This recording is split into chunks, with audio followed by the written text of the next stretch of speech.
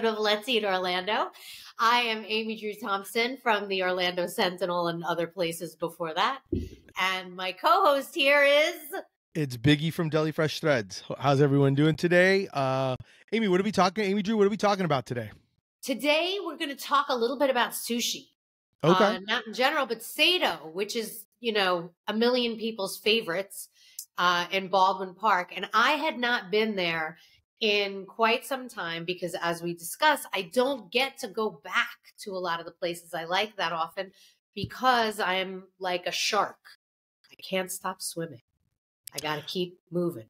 And a lot of that is also because of the fact that like when you when you have to write articles, how many like articles are you supposed to write like during the course of the week of like new places and stuff like that? Like what is it usually something I write on average four minimum a week, I would say. And that doesn't count news, Yeah.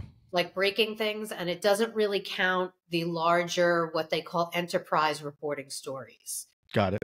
So um, I write a lot, but like just let's look at it this way 52 reviews a year. That's just reviews. That doesn't count anything else I do. That's one every week of the year. 52 calendar columns with a couple of exceptions, you know, when they do the Spooky Awards or the the Twinkly Awards or or Matt Palm's theater preview, you know, like everybody else gets a break when I do uh the foodies. But for the most part, a calendar column every week. It's a lot of stuff. This is really boring. You better edit this. No, no, it's not boring. I think people need to understand this though, because that means it's 52 of those that you're doing plus anything new that are topic wise, because that's one's review and then one's also, you know, Yeah, like if no, there's a theme or you know a every week. holiday or something Yeah. like that.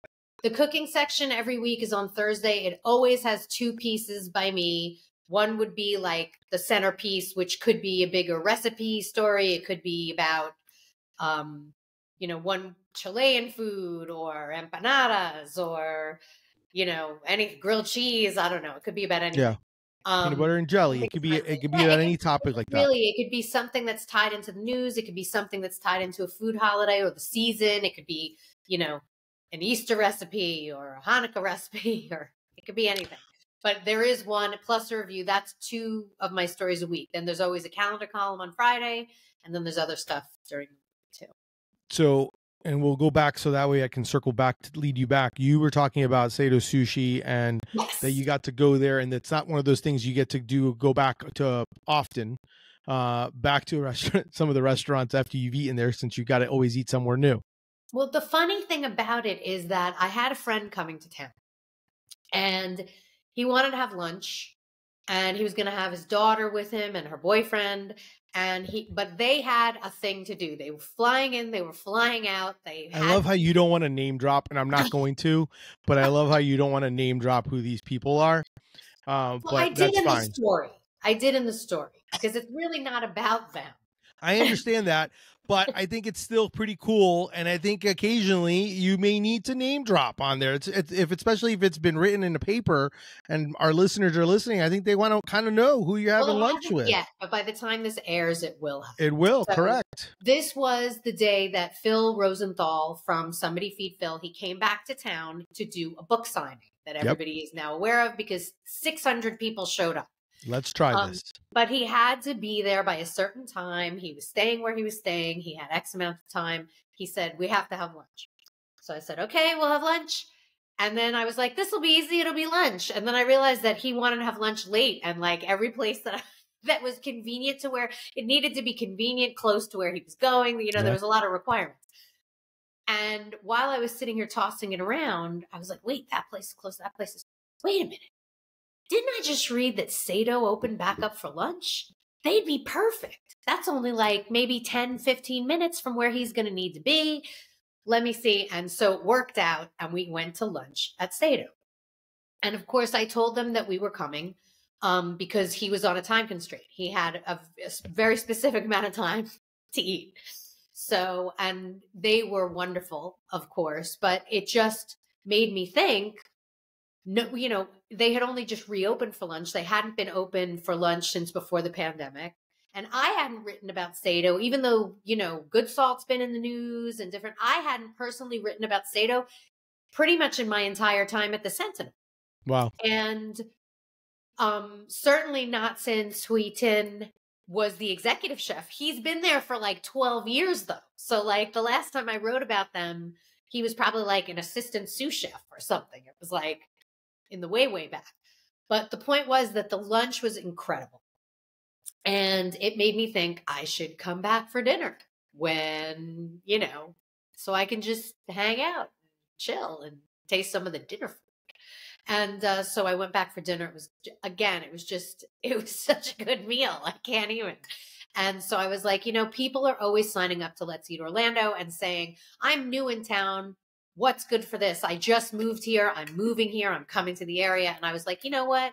Maybe in our circle, yours, mine, the foodies, people, everybody's like Seito, Everybody knows about Seito. But the real thing is, we're all like kind of up our own butts. Like, no, people aren't like us. Not everybody is like us. They don't, it's not restaurants and food every five seconds with normal Yeah. people. so Yeah. I felt like there were a lot of people who could benefit, as could Seito, from them learning about this place. Yeah, no, and I think that's something that is, I- and I and I I'm glad we're having this conversation for a few reasons. One, obviously, I like that we name drop other uh, a whole bunch of different restaurants, and that's what the idea of the show notes will be, so that people can go to them.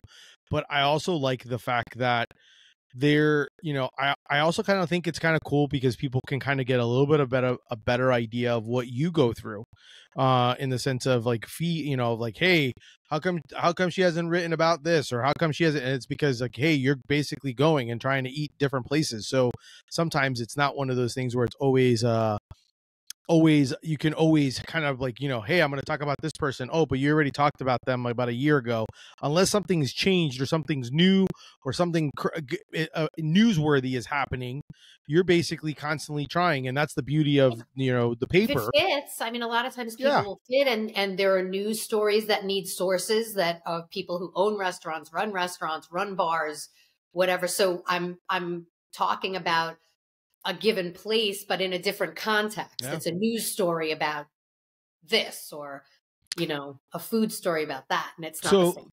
let's uh since we since you dropped since you, you since you obviously had lunch and dinner at Seito, Mm-hmm. can you tell us what you uh I'm kind of curious like if I haven't if I haven't been there what uh would do what do you recommend like what's your like oh man like this is so good do you have anything that you like Well, that you really enjoyed Yeah, yeah, yeah. I'll start with something that's been there for a while, but I had the pleasure of just looking at it. It it's called Korean chirashi, which is like I guess it was inspired, you know, it's a raw fish and salad to- like they, that they, you know, toss with a nice dressing. And they serve it with miso soup and I think a little bit of rice and these sheets of nori, seaweed okay and it is just first of all it's just beautiful it just looks like treasure it looks like the colors in the fish are just it looks like jewels um and then you know phil was eating it and he said he was like i wish i could put everything in seaweed you know he's I think he and I get along because we're both like so ridiculously enthusiastic when we taste something that we like. Um, and that's kind of how I feel every time I eat something really good. And then when I came back for dinner, oh my God, um, the salt and pepper beef ribs were ridiculous. Like these, they're like, they're, he fries them. So they like have a little crust on them and they're deep Mm. fried yeah and they just, they're incredible.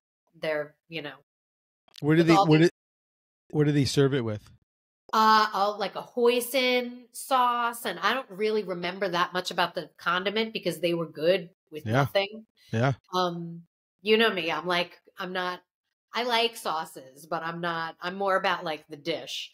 But wow, what an incredible dish! And he calls um he calls it his childhood dish because all of the flavors are pho inspired nice from when he used to his parents would make pho and they would boil the bones for a really long time and they would give him the bones when they took them out of the soup to gnaw on and he would dunk them in all of the pho like the hoisin sauce and the uh, sriracha and that kind of so it's that's what it was inspired by. That's awesome. Yeah, I love I love stuff like that. I almost sometimes wish I almost sometimes wish restaurants had um almost like a backstory so you can almost like hear see some of those things. Like you know what I mean? Like when you look at a menu and you can kind of hear like see the backstory of the menu, like if you really wanted to, if you're looking at it and you could be like, oh, here's the story of how this came out or how I bought how this got on the di- on the menu. Um, I always think that would be kind of fun to do, like a QR code or something. So that way, as you're waiting for them, maybe and maybe who knows, maybe a restaurant will do this. You can like scan the the menu and be like, hey, find out more about how these dishes came about, came to be. It would be cool. I on the one hand sounds cool. On the other hand, it's like, wait, do I really want to look at my phone more? True. Am I eating by myself? Then True. maybe. Yeah. But if I'm eating with you, then I don't want to be staring at my phone. No, no, no. I get that. No, I totally get that. But I do think that'd be kind of a fun thing to be able to just kind of to be able to watch, or even heck, even on social as a social media content to figure out why or how or or what came up because those are the best stories. So other outstanding things there, the hamachi collar. I love the fish collar. If I see a collar on the menu, I usually order it. Outstanding. And there was a roll that we had called the Royale.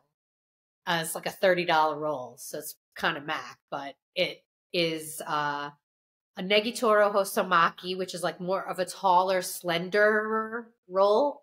Okay.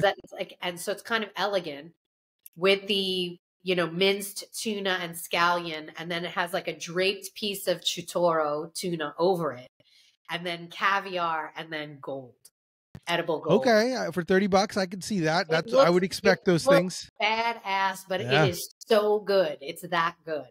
So that was that was like the money roll right there. That's awesome. That's awesome. So, uh, would you would you say that go to Seito? Would you say would be something for celebrate like if you're celebration or even like for lunch? It's just good to go for lunch. Yes, uh, and yes, and yeah, yes. yeah, Just that's what I know, thought. Just good food. Go there. It's not like everything there is you know a thirty dollar roll. You don't have to go there, and they have lunch specials where you can get. Um, you can actually get that collar as a lunchbox special. I can't remember what's in it, but that's available at lunch, which is like super decadent for lunch. I would go for the uh the tossed um chirashi, but uh it was just a fabulous experience. But moreover, what I would want to talk to, and Yeah. this is something I feel like you relate to because people are like, but I know about that already. Yeah. Like, and you're a businessman. Yep. So I know you appreciate your regular customers very, very much, but don't you want new ones? Yeah, I think I think there's like a so it's funny because I started thinking about this because sometimes um you need yes, I would think if I had to say, you know, like hey, we're like I want to sell this many shirts and how like I don't know, use a, a basic example. If I had five shirts, if I wanted to sell five shirts to five either five different people or one to one super fan, I definitely would want obviously I would like some regulars to buy more new product or continue buying product, but I also want new people to come in and see me. So you obviously want a mix of your regulars, but then you also want those new people because those new people usually what happens is those new people are the ones that talk. Um, a lot of times people won't go to like the place that they usually go to and then just rant it. I mean, I do, but they don't usually rant and rave about, oh, I went to so and so place. You know what I mean? Like, and had this. They don't usually do that. Um, and you know, unless you're a foodie and you're posting where you're eating all the time. Um, so yeah, I definitely want the new customer to come. I think, and especially since they say it takes like it's the power of seven. They say sometimes that someone needs to see something seven times or hear something seven times before they actually will either think about trying it or trying it, unless you obviously, uh, you know, or unless someone else is kind of influencing them uh, and telling them, hey, this is great. You should definitely do this. And they'd be like, oh, okay, yeah, I will. I will do this. I used to Um, work for a magazine for the nightclub industry, and I remember one of the club owners that I interviewed said he calls it the rule. There's another rule. He called it the rule of 10, which is one person comes into your establishment, they're telling 10 people about it. So you better make sure they had a good time because otherwise 10 people are going to hear that same complaint. You know, so you want to make sure. And so you get somebody who comes and buys a hat or a shirt, loves the packaging, loves the product. Yep. They're going to tell 10 people, hey, and then they'll also wear your shirt, which is also nice. Or whoever That- they bought it for is going to wear your shirt. that is definitely the key. The other part though is, and I will say, and I'm very, I'd be very curious if you ever have restaurants talk to you about this. Like you could have, like it's amazing how there's that.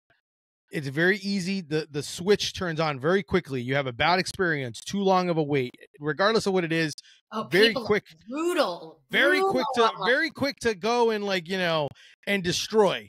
But you have an amazing time. Have a have a, have like wow, like I every time I come here, it's amazing.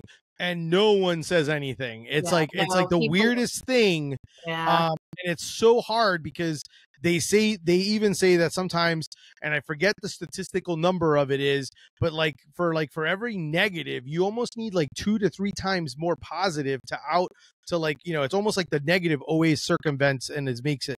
So yeah i mean i definitely would always rather have the new customer the customer that always is uh you know ranting and raving. I mean i can talk till i'm blue in the face telling my customers hey post pictures of you wearing the shirt or you doing this and if and and majority of the time they probably won't uh they won't do it um you know which is the crazy part about it same thing when you're having an amazing meal you want someone to take a picture of it and you know and show it off and tag them and be like hey look at this amazing place i ate at uh check it out I it's a walking advertisement. You know what I mean? Like in the case of the posting, yes.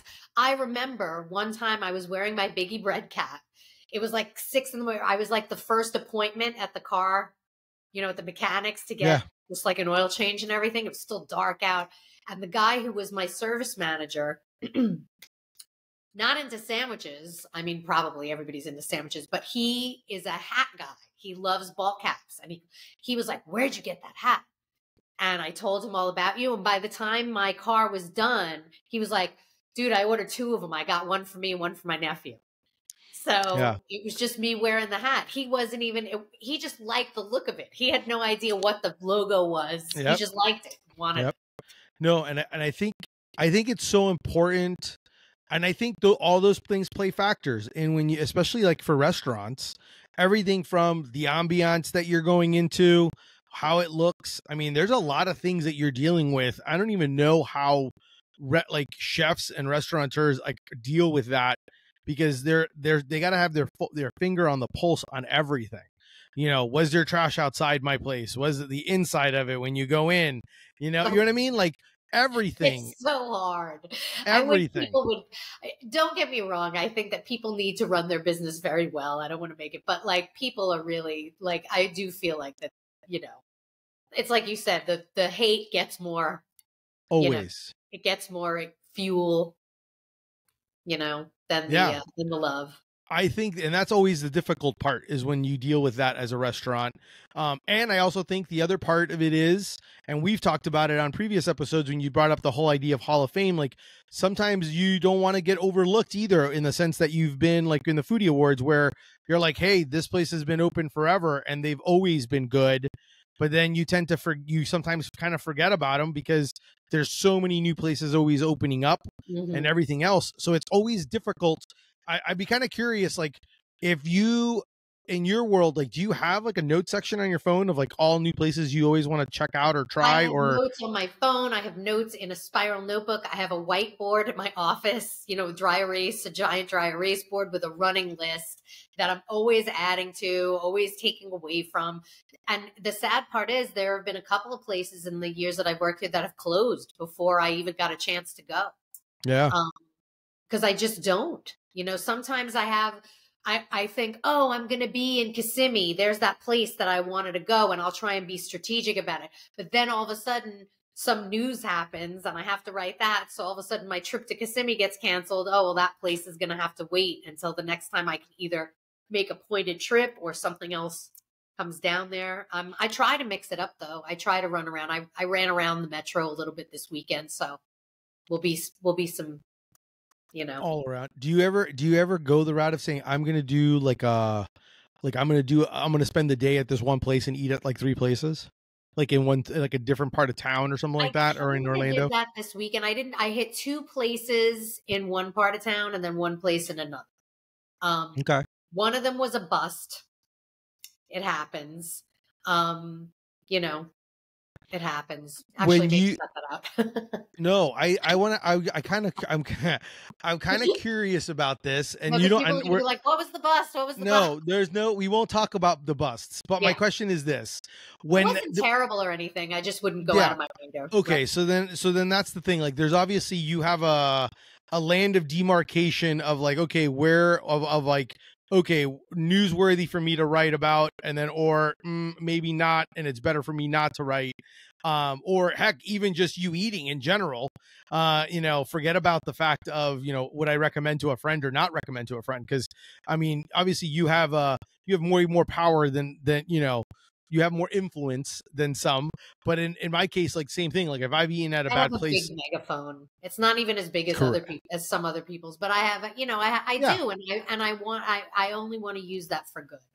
as you should, yeah. I and I'm the same way. I don't I don't usually tend to uh tell people uh, places I don't like to eat at. I'd rather tell you places that we want to eat at, which is kind of what our show is going to be about most of the time. We're Plenty never going to we'll never talk about the bad I- places. Yeah, plenty plenty of people like the places that I may not have cared for that much. Yeah. you know, um, and they'll keep going and they'll keep telling their friends. Yeah, know? no, I I totally agree with that. Do you think that I'm trying to think of like when you when you're trying to figure out all the places that you're going to and doing. I mean, it I just think after a while like you you're also got to be sometimes there's got to be times where like I'm not in the mood to eat this. Oh, I want to eat something else. I don't or- know. I have moments where I'm like, do I even have to eat? Like, oh yeah, that's the other part. I get food fatigue. Believe it or not, it passes relatively quickly because I like to eat. But yeah, there are Yeah. some weeks where I'm just like, can't I just? I just want to go make a shake, you know, like a protein shake or something. I mean, and sometimes that's how you probably probably start your day. Be like, I'm going to start with this because I'm going to go be eating, or I'm going to have to eat something later on. Oh, Yes, I um I recently started uh just a few months ago with a calorie app that I track now more than I did in recent um and yes, I 100% plan Yeah.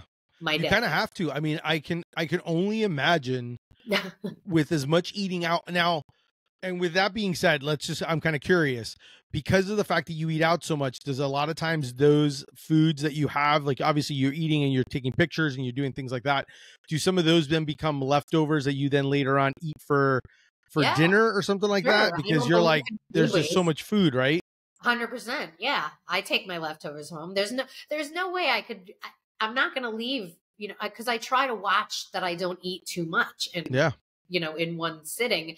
And people love their portions here. You know, I laugh because what at the Italian sandwich place, right? Mhm. They in Italy, those sandwiches usually just have like a slice or two of prosciutto or something in them.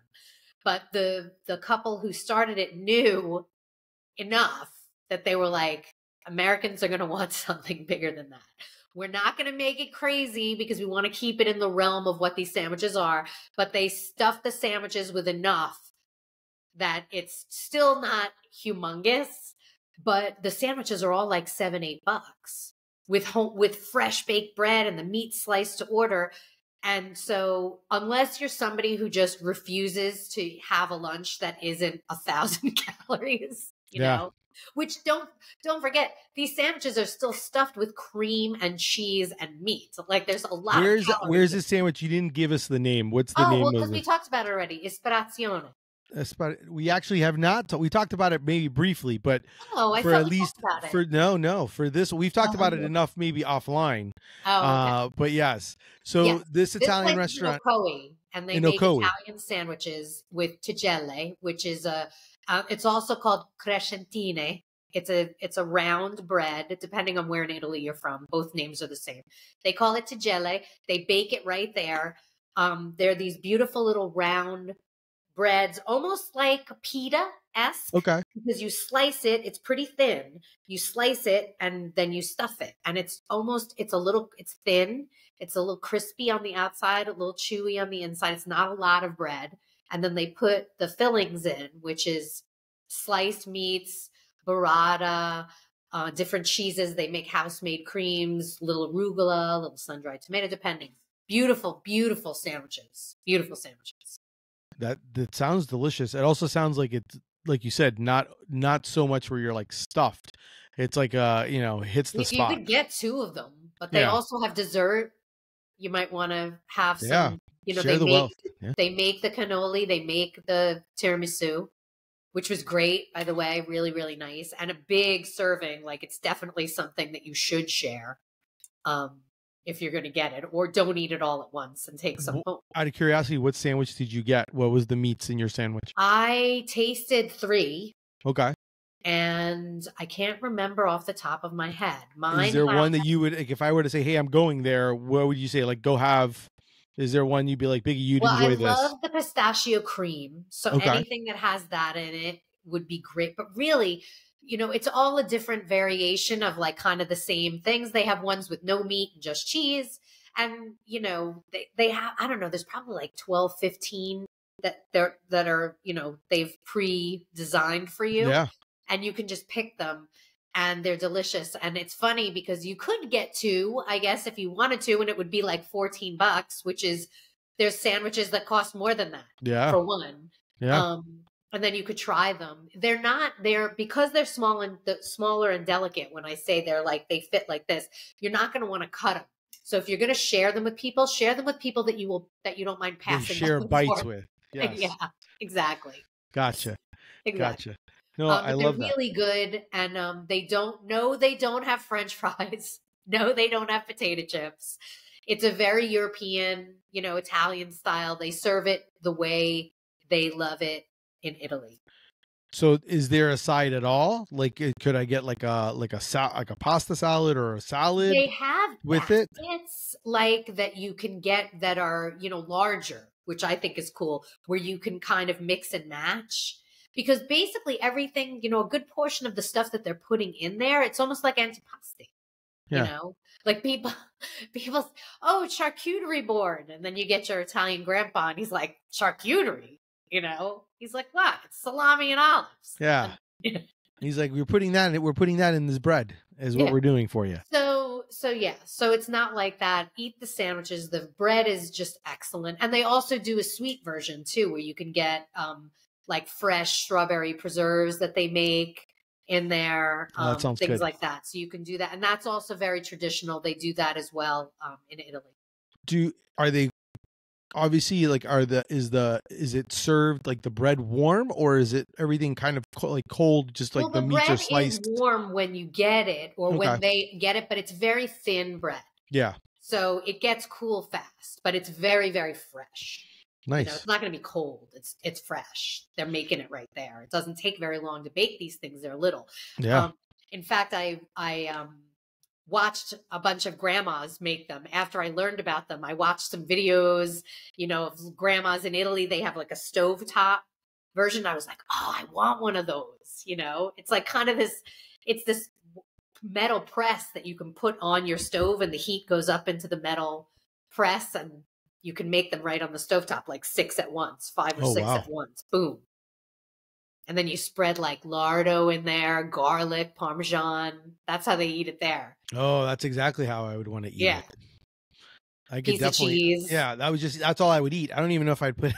I'd just be like, just give me the bread with the with all that stuff on it. Yeah, exactly. That's Um, awesome. so go there. Check that out. Sandwiches. You have to go. Yeah, I yeah, I will I will give it a try. I will give it a try. I will also uh if you have not obviously like we talked about Seitos, make sure you definitely go check them out.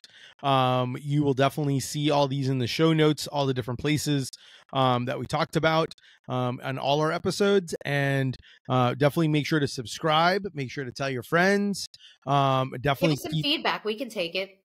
Yeah, us what you want to please hear about. what you want to hear about, certain topics you want us to discuss, places you want us to, you know, check out uh, or eat, or you know, or maybe even a food topic. Like I'd love to. I always love to kind of get.